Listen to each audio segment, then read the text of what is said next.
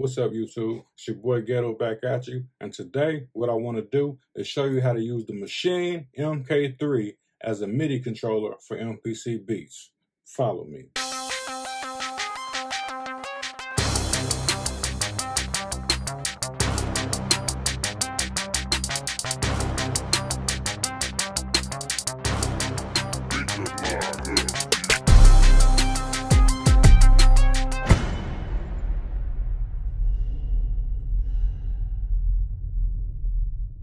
All right, in order for you to do this, the first thing that you need to do is go to the Akai website, which I have pulled up right here, and you want to go to uh, find this right here, new MPC Beats, MPC Live, or for whatever device you have.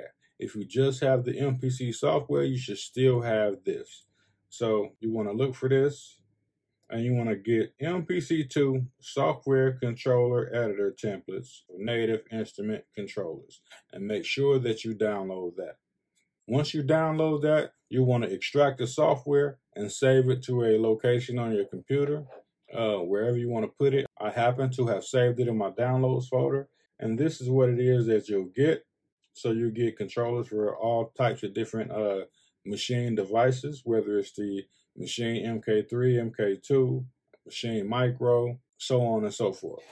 So we want to make sure you know where you have that saved at and know where you have it extracted because we have to come back to it uh, shortly. Now, the next thing you'll want to do is go to your Maschine MK3 and you want to have to put it in MIDI controller mode. And how you do that is on the Maschine MK3, you hold down the shift button and you press the channel MIDI button and it will switch the Maschine into standalone MIDI control mode. Now from there, the next thing you want to do is open up the Maschine MIDI editor. What that look like? it's actually called the Maschine control editor. I misspoke on that. So you want to open that up and this is what you will have right here. This is the Maschine uh, control editor and it's on the default template, which is template one, which is what you see on the Maschine controller now. This is exactly what uh, the default template looks like. And at this point, it will not control anything on the MPC. What we have to do is go to File, Open Template.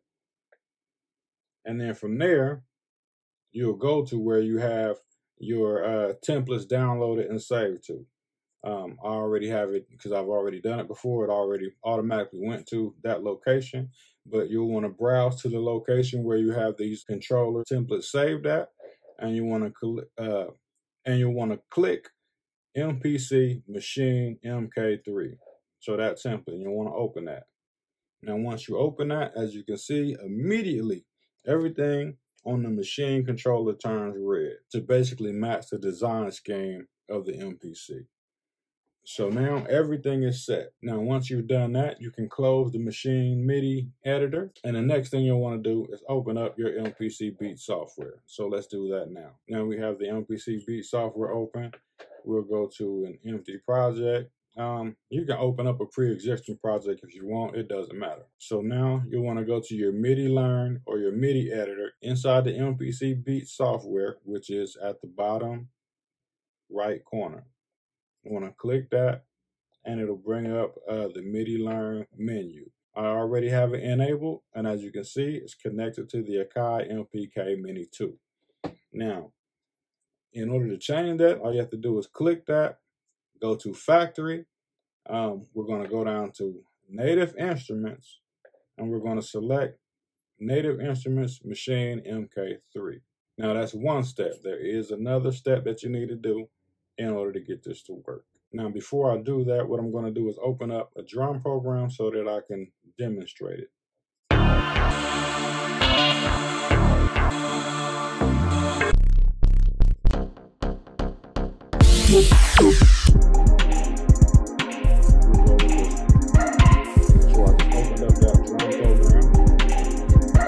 Now, as you can see, hitting the pads on the MK3 do nothing at this point.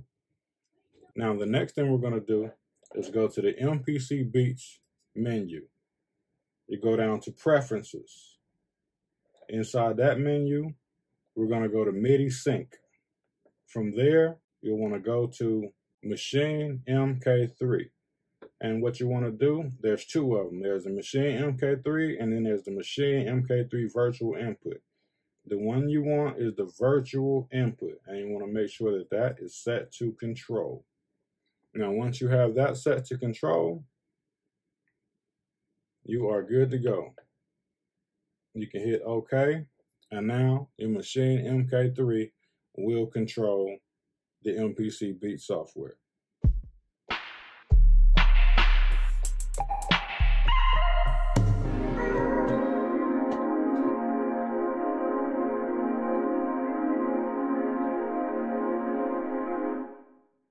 Now, there is a couple of things that I want to note to make sure that you know before doing this. On the Maschine MK3, all of the buttons that are lit up do have functions inside the MPC software. For instance, the arranger goes to track view. Plugin instance on the Maschine goes to the program edit.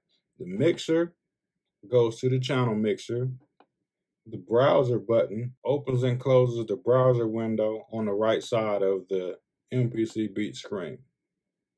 Uh, the sampling button obviously goes to the sampler. Let me see. The note repeat button does work. Um, play start, all those uh, functions work.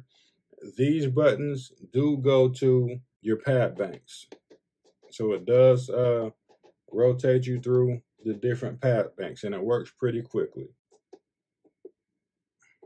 So I'm just uh, pressing a lot of these buttons just to show you that they do work. Uh, this is the main mode button, sample edit.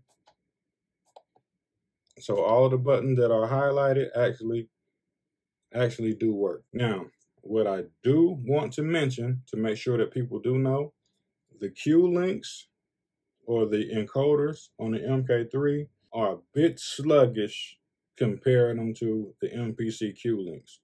So, for instance, uh, the program level Q link, as you can see it going up and down uh, inside the MPC Beat software, it's stuttering a little bit. It's not a smooth incline or decline. And if you do it on the MPC Q links, it's a much smoother uh, transition, as you can tell. So all of the encoders on the Maschine MK3 work kind of in a herky jerky kind of way like that. So it's a little quirky, but they do work. They just don't work up to the MPC standards. And there you have it. That is how you use the Native Instruments Maschine MK3 as a MIDI controller for the MPC Beat software. Thank me later. I'm out.